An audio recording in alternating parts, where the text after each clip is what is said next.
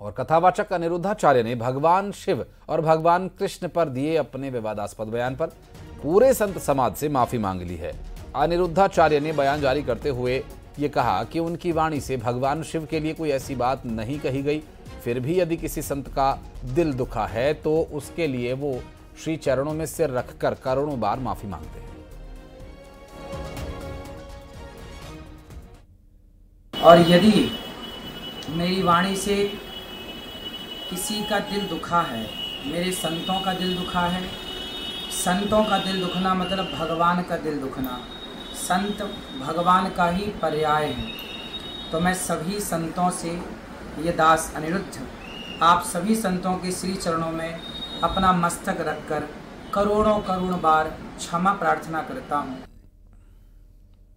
और भगवान शिव और भगवान कृष्ण पर दिए विवादास्पद बयान को लेकर पूरा संत समाज अनिरुद्धाचार्य से नाराज़ है और जहाँ जगतगुरु परमहंस आचार्य ने बयान को अशास्त्री और अमर्यादित बताया तो वहीं संत दिवाकराचार्य जी महाराज ने अनिरुद्धाचार्य पर धर्म को व्यवसाय बनाने का आरोप लगाया है।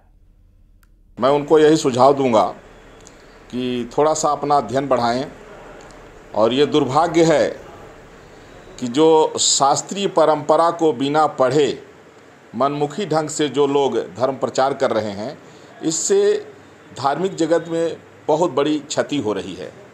अनिरुद्धाचार्य को पढ़ना चाहिए और उतनी ही बात करनी चाहिए जो शास्त्र सम्मत हो।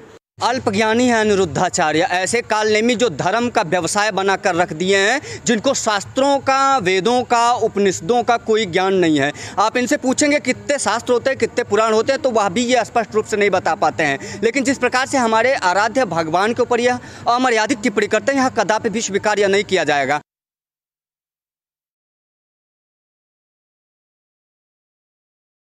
लेकिन यहाँ की सड़कों के गड्ढे देखकर लगता है कि ये आदम युग में बनी हुई सड़कें हैं।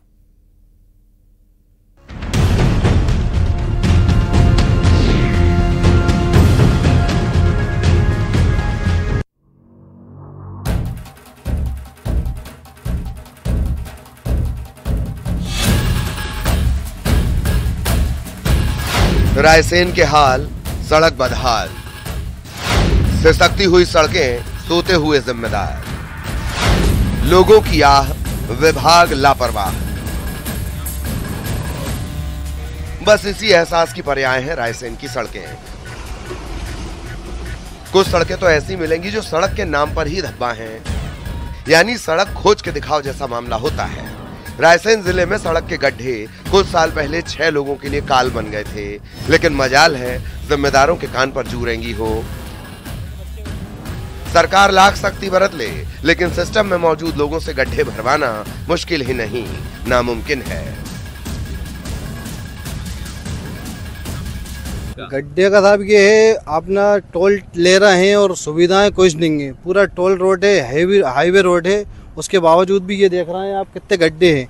यहाँ पे आए दिन कोई ना कोई गिरता रहता है, बच्चों के साथ पब्लिक जाती है, गड्ढे इतने हो रहे हैं कि बहुत दुर्घटना होती हैं ये आप देखिए बच्चों के साथ जा रहा है छोटे छोटे बच्चों के साथ लेके जाते हैं।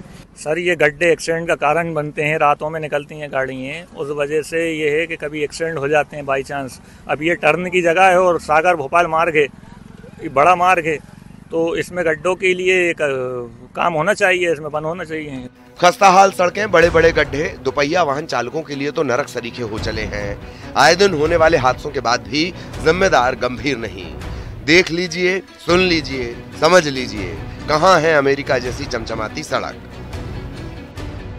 सागर, भोपाल का ये मार्ग है और जिस तक किस तरीके से यहाँ पर जो है, सड़क पर जो गड्ढे हैं, वो स्पष्ट रूप से आपको यहाँ पर दिखाई दे रहे हैं और एक गड्ढा भी कहीं ना कहीं बड़ा नुकसानदायक होता है। कई हादसे यहाँ पर देखने को मिले मैं कैमरामैन से कहूँगा पूरे यहाँ पर गड्ढे दिखाऊँ थोड़ा सा जूम भी कर लें जो आगे बड़े बड़े गड्ढे यहाँ पर दिखाई दे रहे हैं। जिस तरीके से बात की जाए यहाँ पर गड्ढे के कारण कहीं ना कहीं एक ऐसा हादसा यहाँ पर रायसेन में हुआ था कि एक बस जो है वो बस यहाँ पर थोड़े ही आगे रीछन नदी के पास यहाँ पर एक बस जो है नदी में गिर जाती है एक गड्ढे के कारण। कुछ यहाँ पर राइगर उनसे बात कर दी सर यहाँ निकल के जा रहा है। गड्ढे हैं कितने नुकसानदायक हैं?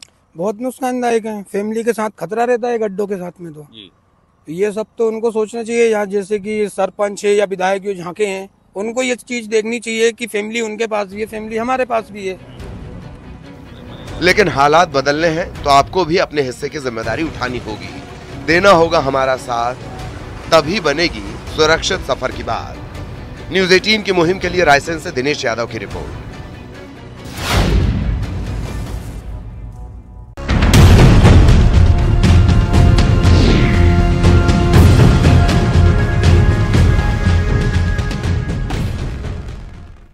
और यहाँ रुक रहे हैं एक छोटे से ब्रेक